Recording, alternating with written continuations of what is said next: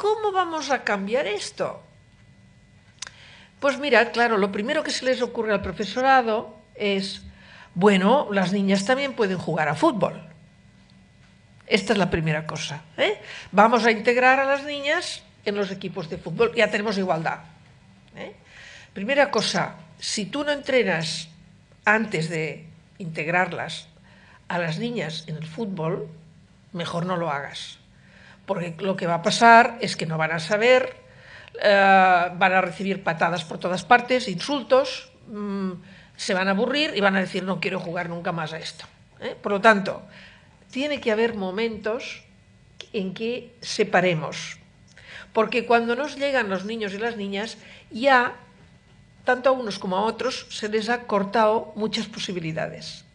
Y por lo tanto tenemos que restituirles aquello que de alguna manera ya se les ha impedido, ¿verdad? Por lo tanto, si unos ya juegan muy bien a fútbol y ellas no han jugado nunca, no los mezcles, tienes que ponerlas al nivel. Cuando ya juegan a fútbol niñas y niños, hemos llegado a la igualdad. ¿Qué más hay que hacer? Si lo que hacemos es transformar al género femenino en género masculino, tenemos un tipo de igualdad, pero nos hemos perdido la mitad de la vida. ¿Eh?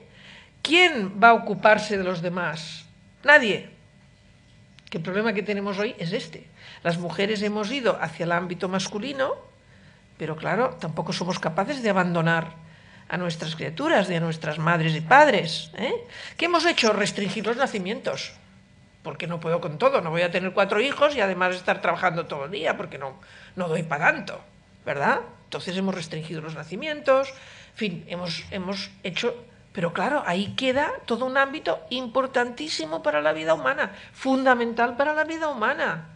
¿eh? Si no hay madres, no habrá humanidad. ¿eh? Y si las madres no se ocupan, las madres o alguien no se ocupa de que esa criatura que acaba de nacer pueda hablar, aprenda a hablar, aprenda a caminar, se la alimente, eh, aprende los hábitos sanitarios, pues no, será, no, no llegaríamos a la humanidad. Por lo tanto, el cuidado, como era cosa de mujeres, hemos negado que fuera importante y que existiera. Hemos dicho eso, nada. Eso es algo que se hace porque, bueno, ¿eh? hay que hacerlo, pero no es importante. Lo importante es trabajar fuera, ganar dinero, bla, bla, bla, bla, bla. ¿eh?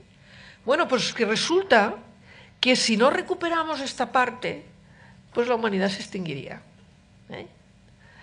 Entonces, cuando ya tenemos el nivel de las niñas jugando a fútbol, tenemos que recuperar otro tipo de juegos, los juegos que en el pasado fueron los juegos de las niñas. Y ponerlos en valor. ¿Por qué? Porque estos juegos han tendido a desaparecer. Como no están en la tele, como no se habla de ellos, como no tantas cosas, pues resulta que estos juegos no importan. ¿eh? Cuando lo que tenemos que hacer es recuperarlos y darles la misma importancia que tiene el deporte. ¿eh?